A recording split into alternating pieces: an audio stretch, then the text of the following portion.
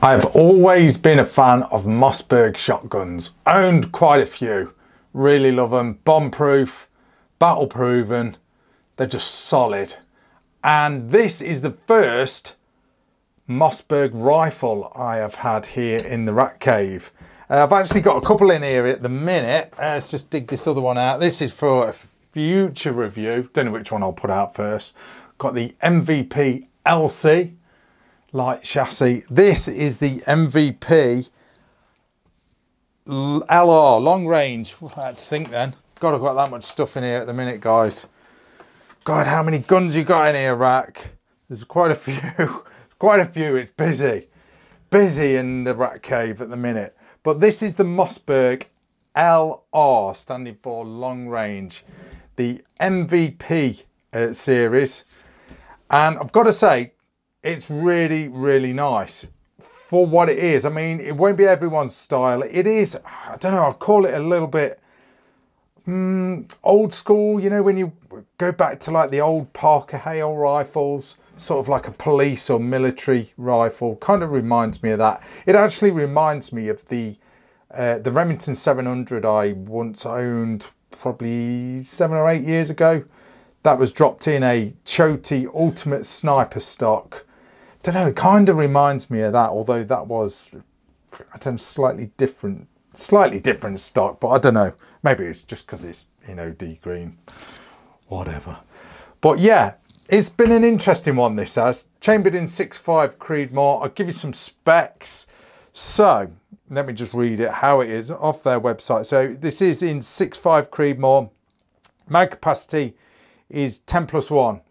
I'll tell you more about the mags in a minute because that's what makes this MVP series really good. But I'll get back to that in a minute.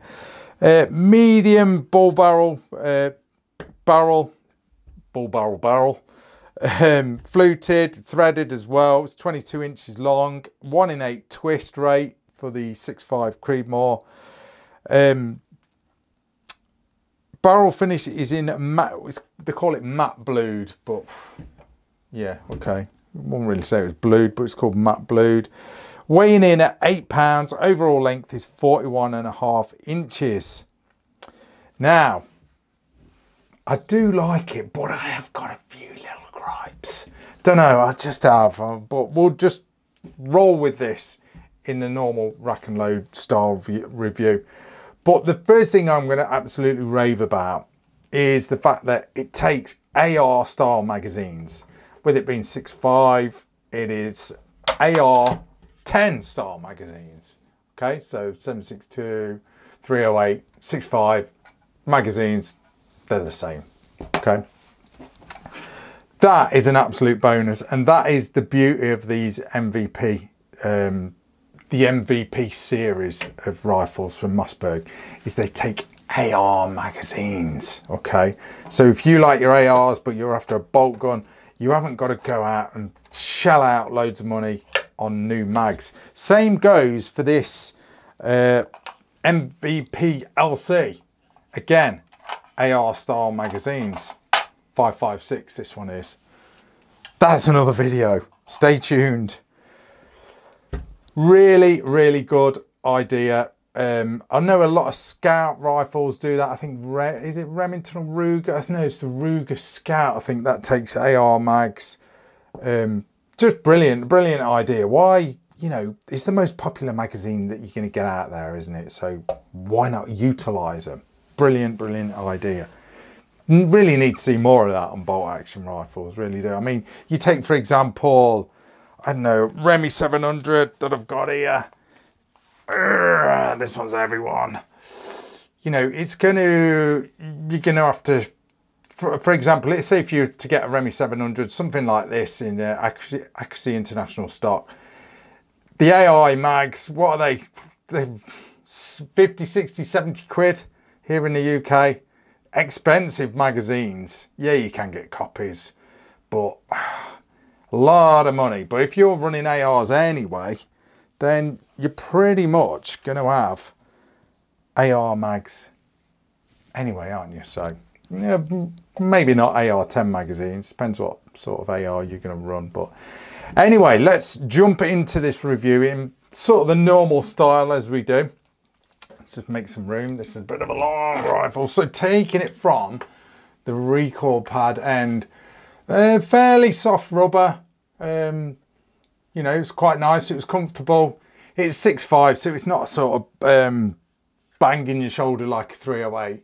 So pretty comfortable to use. I do like this caliber, I must admit. I am really, really warm into it. Loads of guys rave about the 6.5 over 308. You know, it really is a bit more gentle on your shoulder. So hence why there's not much of a recoil, recoil pad. Yeah, it, it does bounce a little bit, but not half as bad as 308. Not half as bad.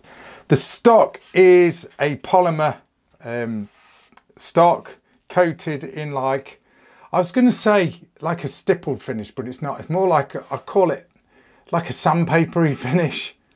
So yeah, more of a sandpaper finish.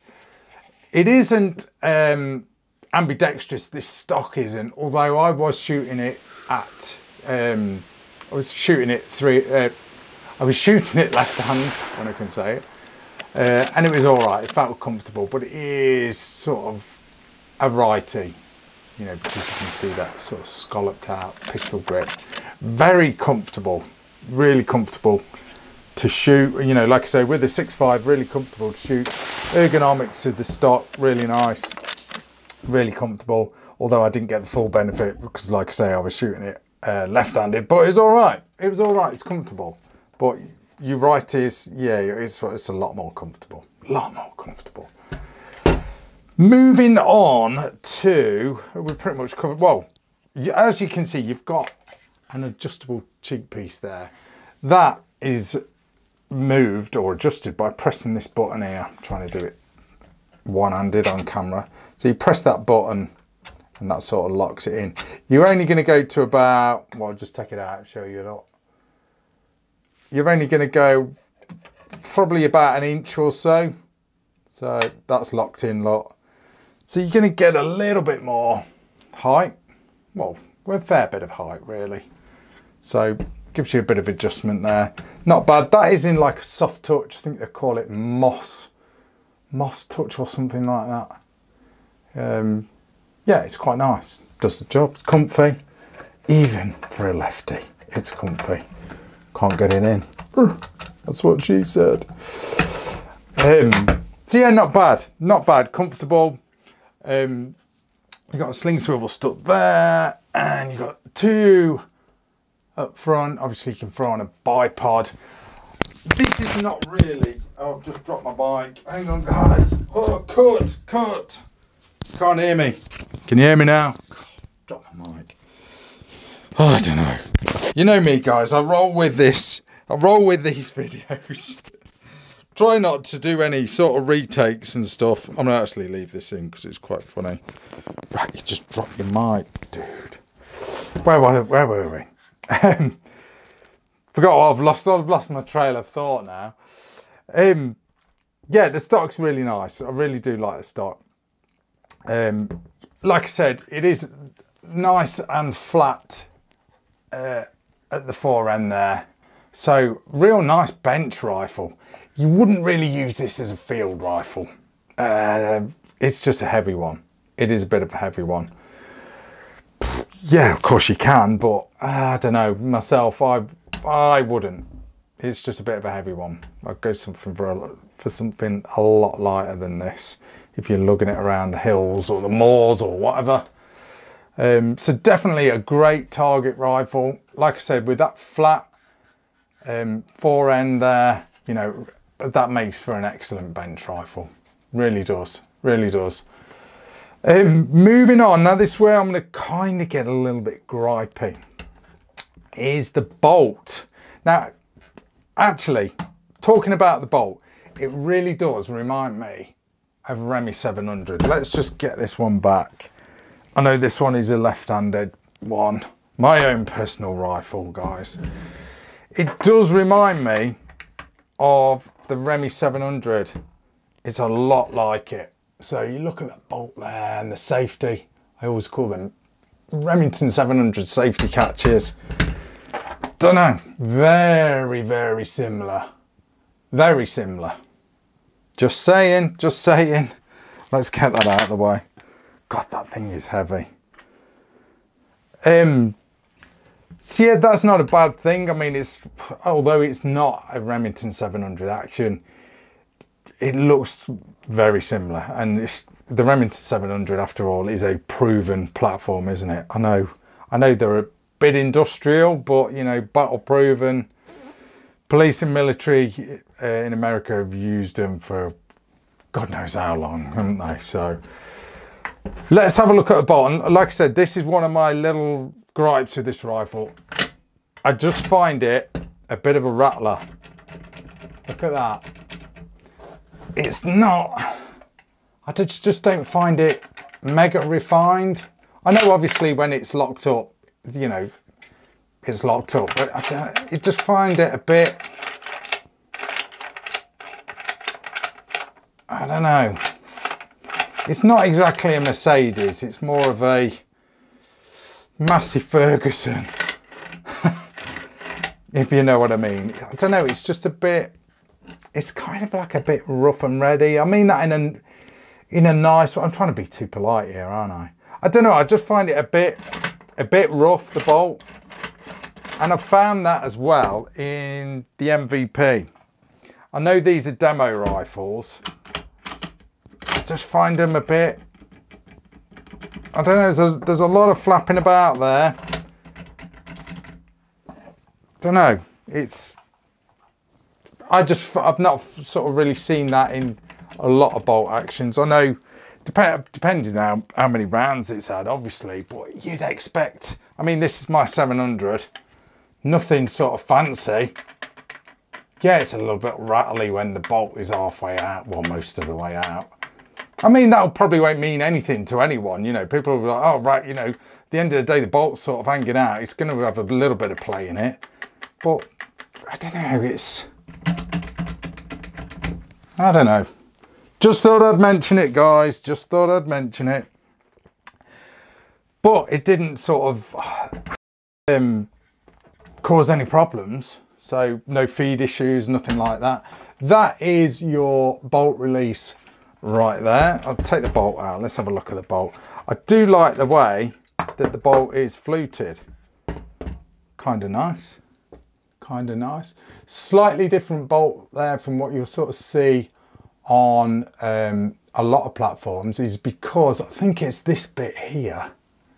Let me just get this right. When it's locked up, that's the bit that strips strips the round from an AR style magazine. So it has to be slightly different, um, the bolt does, to sort of strip out um, from a uh, from an AR mag. So I think it, as you I'll kind of demonstrate it here, I think it's got to go like that, if that makes any sense. Let's compare it to the 700 bolt shall we? If I can get it out. Oh no, I can't get it out. I've got to fold the stock up and everything on it. Forget that. But that is your bolt. Okay. So I had no issues. Like I said, I just found it a little bit a little bit rough and ready as far as loading this thing up. Maybe it needs a bit of lubing up. Um, I don't know. Maybe it does. It just bit of tractor grease on it, you know, just to give it a bit of, just to give it a bit of, um, bit of slick and silkiness to it. But, but that's your bolt anyway. Like I said, I didn't have any problems at all. Let's just give you a bit of a look down there without the bolt in. You've got, I've just noticed there, uh, Mossberg's M on the bottom of the pistol grip there. Trigger is nice. You've got a uh, Safety on the trigger as well. Almost, if you look closely, it's like a lightning bolt there. That looks pretty cool. Put the bolt back in, you just literally just drop it back in like any conventional uh, bolt there. So, not bad. Like I say, just a little bit rough on when it's, it just feels a little bit rough. And I don't know how old this particular rifle is. It, like I say, it is a demo rifle could have had thousands and thousands of rounds to it. I just, for me, if this was a brand new straight out of the box rifle, I'd expect that just to feel a little bit more slick. Or am I just being a bit, I don't know, a bit too picky? At the end of the day, price point for these, I mean, I think they're around the thousand pound mark here in the UK. I don't like to give prices that just go out of date. So it's it's not like your high-end rifle, for example. Like it's not a high-end rifle. So kind of kind of sort of like mid-range, I guess. But nevertheless, it does feel pretty bomb-proof. There's no doubt about it. Let's move on to the uh, receiver as well. Um, well, there's not really that much to talk about the receiver. Um, the actual rifle is supplied with Picatinny rail so you can throw on a scope. That is a Leupold, what is it? I forget what it is. What's this one? 4.5 to 14. Yeah, 4.5 to 14 times 50. Uh, real LRP is this real excellent scope. I do like the Leupold scopes, I must admit. Leupold, Bushnell, do like them, do like them. I'm not on that Vortex bandwagon. Don't get me wrong, I like Vortex. The, uh, Remy's wearing a Vortex. Do like Vortex, but I do like Leupolds and Bushnells very much so, very much so. The best part, like I said, the best part about this rifle is the fact that it takes AR magazines. Really, really good. What I will say though, on this particular rifle, this is kind of weird because I love the fact that it takes AR magazines, but I just don't like the way, and I know I kind of know why they've done it. The mag release is just, it's not great, okay? So you've not got like a massive paddle sticking out there. You've got to pretty much get your finger in that recess. You see it there and press that. You've got to give it a good press. It is a little bit fiddly. If you was wearing gloves, you're going to struggle, okay? And it does require a bit of a press. I get why they've done it. I mean, if they, well, I'd get get it more if this was a hunter, if this was a field rifle, you know, because guys would be saying, "Oh, I've had my rifle slung, you know, and I've I've caught the the paddle there and I've lost my magazine." I get that, so that's probably why they've done that, is just so so no one sort of accidentally presses the uh, the paddle and releases the magazine without them knowing about it while they're walking around with it. Hence, and you know, losing your magazine or whatever. I'd get that if it was a field rifle. With it being the target rifle, it didn't really need that. I probably would have just had a, a longer paddle on it. Referring to the uh, to the Remy again, you know, long paddle there. Obviously, different style of magazines on there, AR style magazines on that, but so is that really a gripe? Uh, probably on the, a rifle of this style, you know, it, I mean, it does look kind of tactical. So I probably would have just left that protruding a little bit. Yeah, fair enough on a hunting rifle. Absolutely. But it is what it is. Barrel is, what was it? It's 22 inches long, fluted, uh, threaded as well. Okay, uh, that is, I think it's half inch UNF. I'll throw in details at the uh, bottom of the video. But yeah, so you can can this thing up. I did get this thing hot, I ain't gonna lie.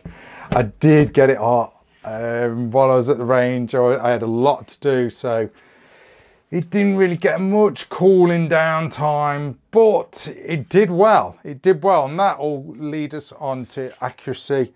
This was using, uh, what did I have? A tactical ammunition, Sellier and Bellot. Okay, these were what were they? 140 grain uh, full metal jacket boat tails, 65 Creedmoor. This is the results I got, and I was shooting off a foam action sports rest. If you don't know what one of those is, is one of these. I really do rave about these things. Okay, these are ace. I have that much stuff to carry down the range, guys. You know, a heavy rest. uh, I can kind of get rid of when I've got these because these are dead lightweight. They're just easier.